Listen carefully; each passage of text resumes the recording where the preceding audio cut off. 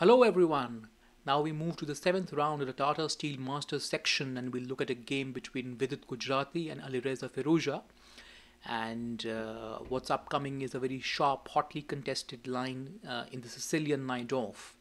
You have e4 and c5, knight f3, d6, d4, cd4, knight d4, knight f6, knight c3 and a6. The Najdorf is on the board. And h3, the Adams attack knight c6, bishop e3, e5, knight to b3, bishop e6, queen f3, and knight b4 going after c2, but castles defending. Rook c8, king to b1, just a prophylactic move looking after a2, queen c7, a3. Well, if the knight goes back, then white is perfectly fine. But here's the idea, knight into c2 and we lure the king on the c file and we see that the knight on b3 is a bit sensitive. So queen c6 threatening queen a4 so knight d2 here. And the correct way to continue the attack here is to play d5 well it opens the line of the bishop on e uh, on f8 it threatens d4 and after e takes d5 you have knight takes d5 which puts more pressure on the c3 knight. Uh, so something like rook a rook c1 and then queen a4 check. King b1 and knight takes c3 rook takes rook takes b takes.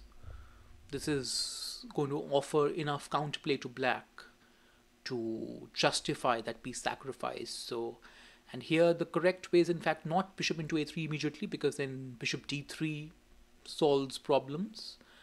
Uh, queen will have to go back to d7 and defend b7 and then queen e2 and white can get a decent play here. But after b into c3 there's f5 threatening f4 and then bishop, bishop f5 uh, that's a real threat after f4 and queen into b7 would be a blunder because of queen d1. King b2 bishop takes a3 forcing king into a3 and then queen a1 check king b4 and queen b2 and we'll pick up the queen on the next move.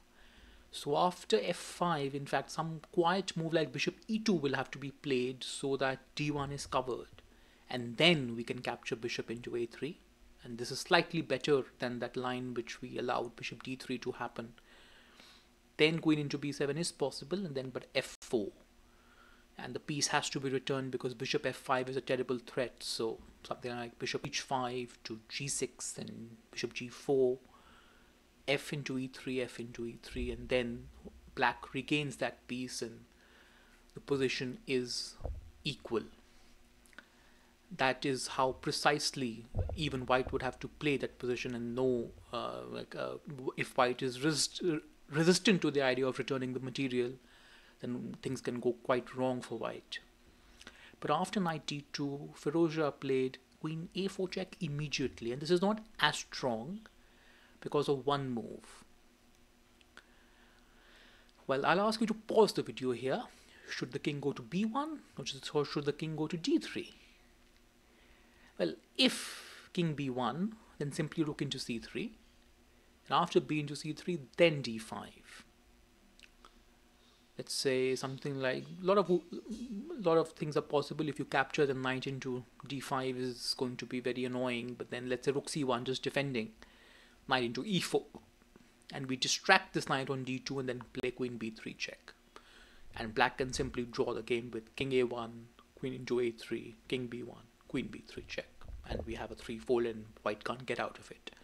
But we play king d3 there's actually a chance for a defense. Now black has given up a piece, but then you give up the exchange. So you're down a rook with rook into c3, b into c3, and d5. But king e2. d takes e4, queen g3. All fine. We've given up two pawns, but we are up a rook. So it's black who has to do something. Knight d7. King e1. And it's amazing how often do we see a castled king return to the starting square and the king is quite safe on the starting square. King on e1, well, very interesting king march I must say. f5 now, bishop e2 just developing, g6 preventing any bishop h5 ideas, h4, bishop e7, bishop g5 and f4. Well, the queen really has no place to go, so bishop into f4, returning some material. e takes and queen takes. You could play bishop d5 here, just defend the e4 pawn and then after h5 something and then play rook f8, but rook f8 was played immediately and this gives up the e4 pawn actually. And also Firouzja traded queens, knight into e4, white is perfectly happy in this position.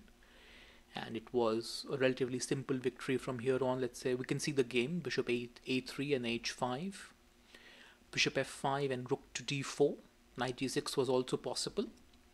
Knight e5 and h takes g6 and bishop takes g6 bishop h5 trading down.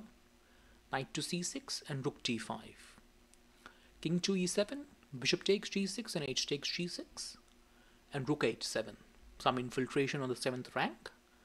King to e6, rook d d7, b5, saving that pawn and f3, securing the knight, rook c8 and rook b7, b4, c takes, bishop takes and king e2, a5, rook h to g7, knight to e5 and king to e3, rook to c6, f4, you're just pushing that knight away and after knight g4 check simply king d4 and there is no good way to prevent rook takes g6 which will come with another offer which would actually lead to checkmate probably very soon. There's nothing more to be done and here black resigned and a nice victory for Vidit.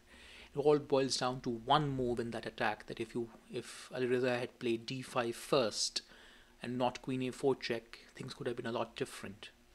Well, that's chess. Thank you all for watching. I'll see you soon for the next game.